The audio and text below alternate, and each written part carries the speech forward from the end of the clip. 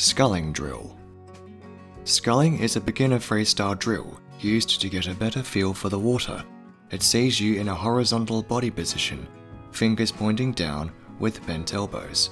Your forearms move from side to side with your thumbs facing down, going out and up, and coming back in, whilst keeping sure your elbows are bent.